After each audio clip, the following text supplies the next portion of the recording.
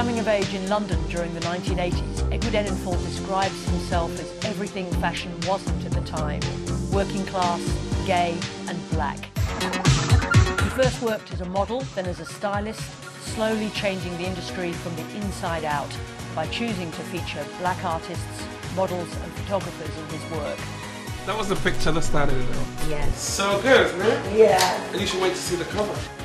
In 2017, Edward Enninful became the first black editor of British Vogue in its 100-year history. And this year, he published his memoir, A Visible Man. Edward Enninful, welcome to the programme. Thank you for having me. Reflecting on the creation of one of your many luminous, iconic covers, you say, beauty can set us free if we let it. How does it do that? How does beauty do that? Yes. I mean, for me, for so long, there'd been such a narrow definition of what beauty is in the fashion industry.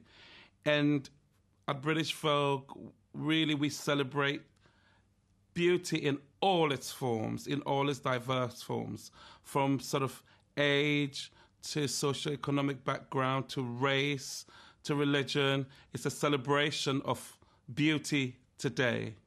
I noticed you talking about one of your most famous covers. That's the, the All African Models covers from February this year. And you say about it that it's mm-hmm. not a special edition, it's not a special issue, just fashion in its own right. Why is it important? What's the significance of that, that we no longer have to call it special? For so long, you know, you need needed special issues, the age issue, the size issue, the, the black issue.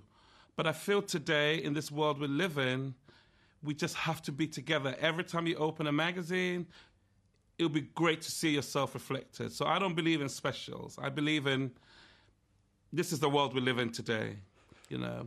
You made a very specific artistic choice in that incredible picture in that February edition, which is the blue toned lighting. So not only are the models wearing black, but the lighting intensifies the blackness. Why did you make that choice? For that cover, I wanted to create a very artistic cover because there was this sort of idea in fashion that black models always need to be in colorful clothes, smiling, summer clothes. And for, for me, it was very important to put them in sort of these avant garde designers of our time, Balenciaga, Louis Vuitton, who were, you know, shaping fashion. So we just wanted to really show them sort of unapologetically black. Now, post the 1980s, British Vogue became whiter and definitely posher and less risk taking. When you took over, what made you think that a magazine that reflected modern Britain would also be a commercial success? The success at British Vogue just showed the world. Don't forget, you know, when I started in 2017, you know, the, the popular idea was black models on covers don't sell.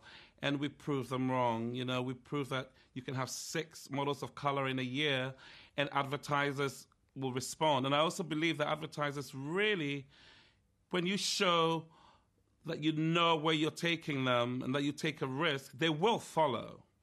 You know, but you have to be very fearless, and that's what we did at British Vogue.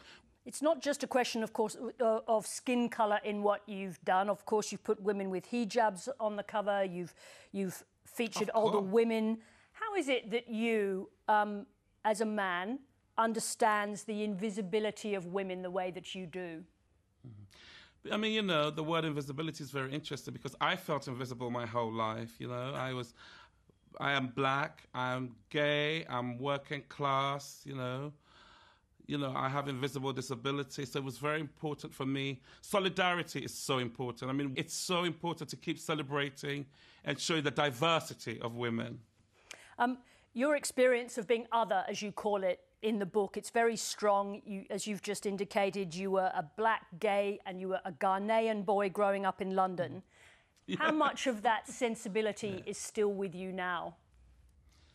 I mean, it's so funny. I always say, you know, when I grew up, I, I, there's a duality that has stayed with me. You know, I lived in a, an African household, beautiful colors, beautiful clothes, different foods, languages, different smells. And then I'll leave the house and I'll be in England you know, at school, fish and chips, very sort of quite, quite so different, night and day. And that having that perspective is what has really shaped my work through the ages, I'm able to look as an outsider and as an insider. So it's been very important. What about your What about your mother? She was a very accomplished seamstress. Is her influence still in you? But my mother loved beauty, and I grew up around aunts, grandmothers, cousins of all different shapes and sizes. So you know, when we talk about the magazine reflecting different women, that's what I grew up with. The idea of beauty was so broad, and my mother encouraged me to see women, you know, for what they are, and I love strong women there's a dark theme that runs through your book as well. We think as outsiders that your extraordinary success insulates you from the things that happen to other people, but that's not true. Um, you describe a scene one morning arriving at your office in London where you were met by a security guard. What happened next? I mean, I remember, you know, I walked in, it was locked down, we were going in, and she basically directed me to the loading bay. And I remember thinking in that moment that this cannot happen to the young people in the building. It's fine that it happens to me because, you know, I'm used to it. I've been dealing with this my whole life and it's not going to stop. But I had to do something to stop it happening to the, you know, the next young person who walked up to that desk and couldn't really fight for themselves. So it was very important for me to point it out.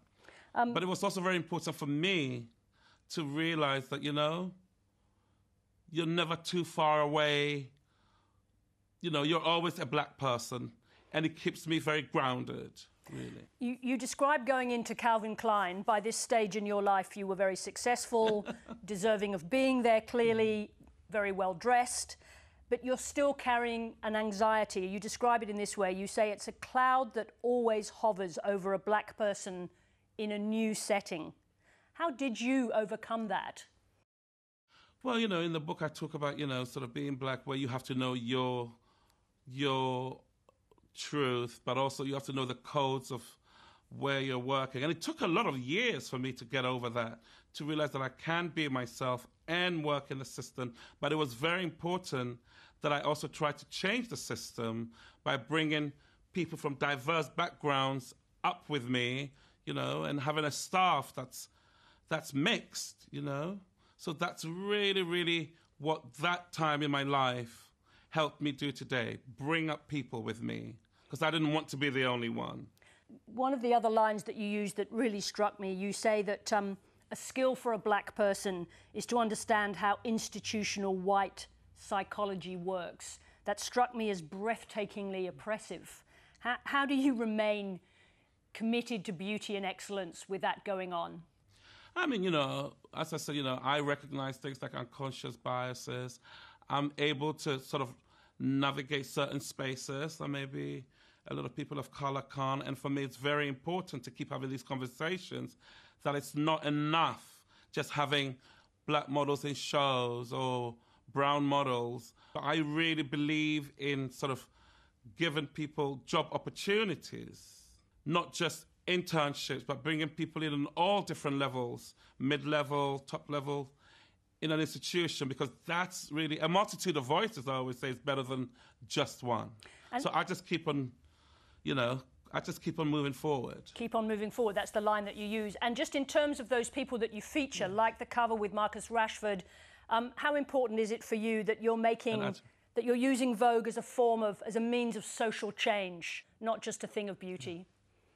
No, I mean for me, you know, it's it's so important. We can't live in the world today and ignore what's going on. When I started at Vogue, everyone thought, oh, because of my visual background, I was going to create a fashion magazine. But it's about culture. For me, fashion, music, art, film, all fits under the culture umbrella. So that's the beauty of what we do at British Vogue. It's about culture, and under that, fashion fits. And we're able to sort of address lots of different topics that maybe you couldn't have been able to do before. You've already transformed the world that you, you work in, but I want to think about the future. You say that uh, white people show up to work unburdened. Do you think that the generation that comes after you will have that burden lifted? I hope so. I mean, you know, looking at the generation who came out after George Floyd was murdered, it, was, it wasn't just black people, it was a rainbow coalition of people. And I feel like this generation coming up, you know, even things like having to for gay kids, like having to come out, doesn't exist anymore. And I feel like there's a whole generation who are quite fearless. So I'm very hopeful for the future. On that hopeful note, we'll say thank you very much indeed for joining us. Oh, thank you so much for having me.